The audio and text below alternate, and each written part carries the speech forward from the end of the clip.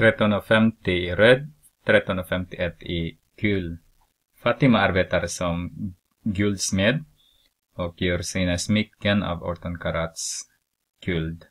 18 karat guld innehåller 18 24 av guld. Ja. 18 24 delar. guld är det.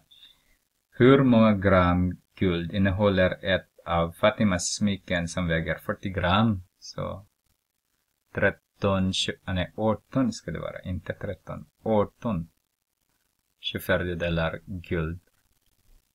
Guld. 18 karat är det. Karat.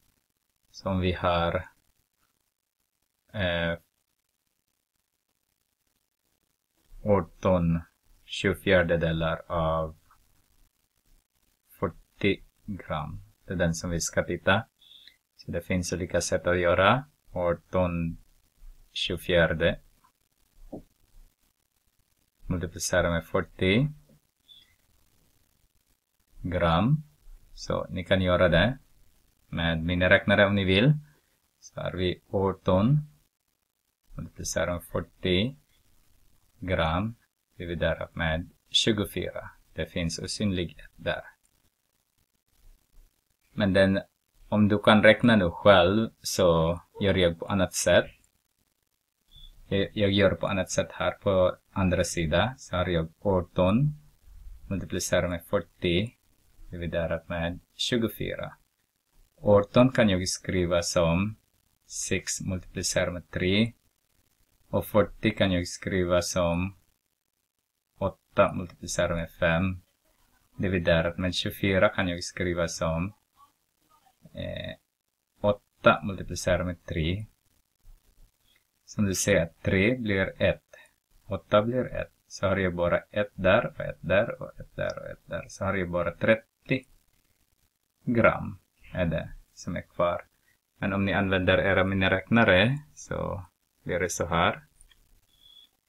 Eh, jag ska bara ta fram min miniräknare. Här. 18 multiplicerar med 40 så får vi 720 24 delar gram. Och sen dividerar ni med 24 så får ni 30 också. 30 gram. Det finns ett annat sätt. Jag ska presentera alla sätt här så att ni får välja vad ni vill. Så har vi 18 multiplicerar med 40 24 delar. Som om jag dividerar 40 med 2, så med 2, så får jag 18 dividerar med 20 dividerar med 12. Jag multiplicerar med 20 dividerar med 12. Så om jag ska förkorta igen 20 med 2 med 2 så ser jag att 18 multiplicerar med 10 dividerar med 6.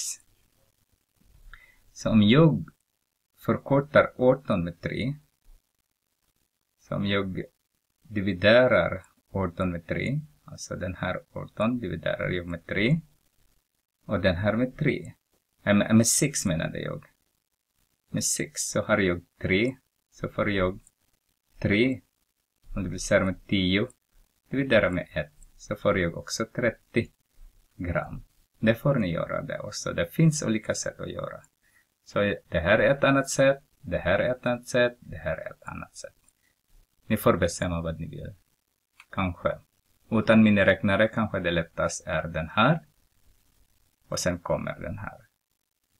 Men ni får bestämma som, som sagt.